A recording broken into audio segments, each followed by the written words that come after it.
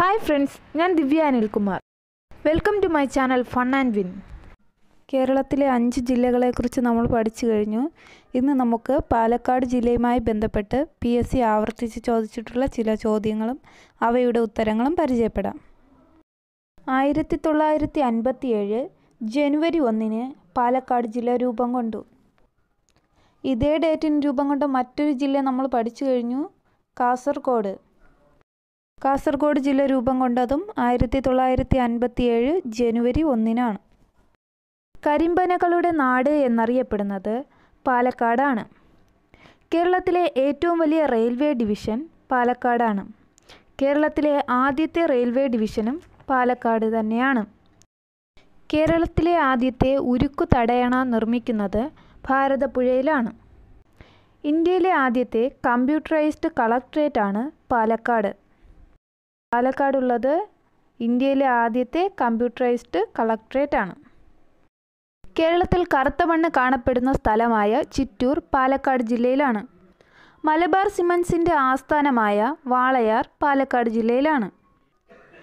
നെല്ലു ഗവേഷണ കേന്ദ്രം സ്ഥിതി ചെയ്യുന്ന പട്ടാമ്പി പാലക്കാട് ജില്ലയിലാണ്. ഇന്ത്യയിലെ ആദ്യത്തെ ഡിഫൻസ് പാർക്ക് വരുന്നത് പാലക്കാട് ജില്ലയിലെ ഒറ്റപ്പാലം. ഇന്ത്യയിലെ ആദ്യത്തെ കമ്പ്യൂട്ടർ വൽകൃത താലൂക്ക് ഓഫീസ് ഒറ്റപ്പാലത്താണ്. ഒന്നാമത്തെ അഖില കേരള കോൺഗ്രസ് സമ്മേളനത്തിന് വേദിയായ സ്ഥലമാണ് ഒറ്റപ്പാലം. അടുത്തത് കുഞ്ചൻ സ്മാരകം സ്ഥിതി ചെയ്യുന്നത് ഒറ്റപ്പാലത്താണ്. കേരളത്തിലെ ആദ്യത്തെ വിൻഡ് ഫാമായ കഞ്ചിക്കോട് സ്ഥിതി ചെയ്യുന്നത് പാലക്കാട് ജില്ലയിലാണ്. കെ കെ നീലകണ്ഠൻ സ്മാരക മയിൽ സംരക്ഷണ കേന്ദ്രം സ്ഥിതി ചെയ്യുന്നത് പാലക്കാട് ജില്ലയിലെ ചൂലന്നൂർ.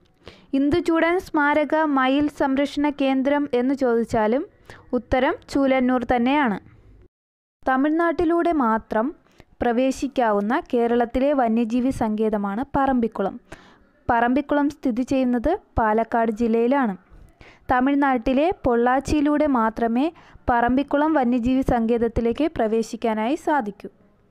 അടുത്തത് ഇന്ത്യയിലെ ഏറ്റവും വലിയ മഴക്കാടുകൾ സ്ഥിതി ചെയ്യുന്നത് പാലക്കാട് ജില്ലയിലെ സൈലന്റ് വാലിയിലാണ്. സൈലന്റ് വാലിയിലൂടെ ഒഴുകുന്ന പുഴയാണ് കുന്തിപ്പുഴ. സൈലന്റ് വാലിയിൽ നിന്നും ഉത്ഭവിക്കുന്ന പുഴയാണ് തൂതപ്പുഴ. മാറിപ്പോവരുത്. സൈലന്റ് വാലിയിലൂടെ ഒഴുകുന്ന പുഴ കുന്തിപ്പുഴ. സൈലന്റ് വാലിയിൽ നിന്നും ഉത്ഭവിക്കുന്ന പുഴ തൂതപ്പുഴ. പ്രാചീന രേഖകളിൽ സൈലന്ത്രി എന്നറിയപ്പെട്ടിരുന്നത് സൈലന്റ് വാലിയാണ്. സൈലന്റ് വാലിയിൽ സംരക്ഷിക്കപ്പെടുന്നത് സിംഹപാലൻ കുരങ്ങുകളെയാണ്. അടുത്തത് കേരളത്തിൽ മഹാശില അവശിഷ്ടങ്ങൾ കണ്ടെത്തിയത് എവിടെ നിന്ന്? ആനക്കര പാലക്കാട് ജില്ലയിലെ ആനക്കരയിൽ നിന്നാണ് മഹാശിലാവശിഷ്ടങ്ങൾ കണ്ടെത്തിയത്. ആനക്കരയിലാണ് വടക്കേത്ത് ഫാമിലി സ്ഥിതി ചെയ്യുന്നത്. വടക്കേത്ത് ഫാമിലിയിലെ അംഗങ്ങളാണ് Mrinalini Sarabhai captain Lakshmi A V Kuttimalu Amma. Mrinalini Sarabhai captain Lakshmi A V Kuttimalu Amma എന്നിവരുടെ ഫാമിലിയാണ് വടക്കേത്ത് ഫാമിലി.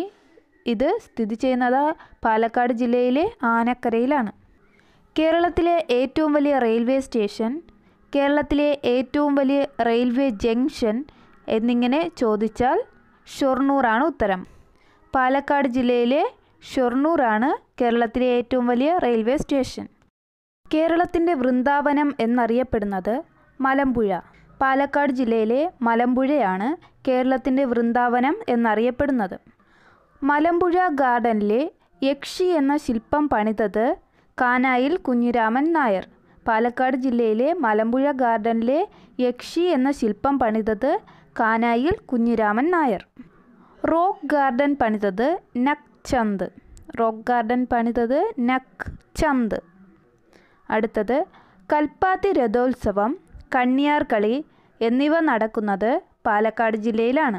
കൽപ്പാത്തി രഥോത്സവവും കണ്ണിയാർകളി എന്നിവ നടക്കുന്നത് പാലക്കാട് ജില്ലയിലാണ്. അടുത്തത് അട്ടപ്പാടിയിലൂടെ ഒഴുകുന്ന നദി എന്ന് ചോദിച്ചാൽ ഭവാനിപ്പുഴ അട്ടപ്പാടിയിലൂടെ ഒഴുകുന്ന ഭവാനിപ്പുഴ പാലക്കാട് ജില്ലയിലാണ്. മാത്രമല്ല കിഴക്കോട്ടൊഴുകുന്ന നദികളിൽ ഒന്നാണ് ഭവാനിപ്പുഴ. കുമാരനാശാൻ വീണപൂവ് രചിച്ചത് ജൈനി മേഡിൽ വച്ചാണ്. കുമാരനാശാൻ വീണപൂവ് എന്ന കാവ്യം രചിച്ചത് ജൈനി മേഡിൽ വച്ചാണ്. അടുത്തത് കൊക്കക്കോള സമരം നടന്ന പ്ലാച്ചിമട ഏത് പഞ്ചായത്തിലാണ് എന്ന് ചോദിച്ചാൽ പാലക്കാട് ജില്ലയിലെ പെരുമാട്ടി പഞ്ചായത്തിലാണ്. പ്ലാച്ചിമട പാലക്കാട് ജില്ലയിലെ പെരുമാട്ടി പഞ്ചായത്തിലാണ്. പ്ലാച്ചിമട സമര നായിക എന്ന് ചോദിച്ചാൽ ഉത്തരം മൈലമ്മ. മൈലമ്മയാണ് പ്ലാച്ചിമട സമര നായിക. പാലക്കാടൻ കുന്നുകളുടെ രാജ്ഞി എന്നറിയപ്പെടുന്നത് നെല്ലിയാമ്പതി. കേശവൻ പാറ സ്ഥിതി ചെയ്യുന്നത് നെല്ലിയാമ്പതിയിലാണ്. അടുത്തത് പാവങ്ങളുടെ ഊട്ടി എന്നറിയപ്പെടുന്നത് നെല്ലിയാമ്പതി. പാവങ്ങളുടെ ഊട്ടി എന്നറിയപ്പെടുന്നത് നെല്ലിയാമ്പതിയിലാണ്. കേരളത്തിൽ ഓറഞ്ച് കൃഷിയുള്ള സ്ഥലമാണ് നെല്ലിയാമ്പതി. നെല്ലിയാമ്പതി പാലക്കാട് ജില്ലയിലാണ്. തോണി വെള്ളച്ചാട്ടം മീൻവല്ലം വെള്ളച്ചാട്ടം പാത്രക്കടവ് എന്നിവ പാലക്കാട് ജില്ലയിലാണ്. ആദ്യമായി ഒരു ജില്ലാ പഞ്ചായത്ത് ഏറ്റെടുത്ത് നടത്തിയ ചെറുകിട ജലവൈദ്യുത പദ്ധതിയാണ് മീൻവല്ലം.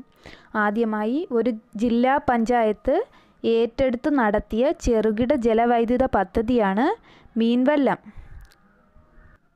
പാലക്കാടിനെയും കോയമ്പത്തൂരിനെയും തമ്മിൽ ബന്ധിപ്പിക്കുന്നത് പാലക്കാട് ചുരം അല്ലെങ്കിൽ കേരളത്തെയും തമിഴ്നാടിനെയും തമ്മിൽ ബന്ധിപ്പിക്കുന്ന ചുരം എന്ന് ചോദിച്ചാലും പാലക്കാട് ചുരം എന്നാണ് ഉത്തരം.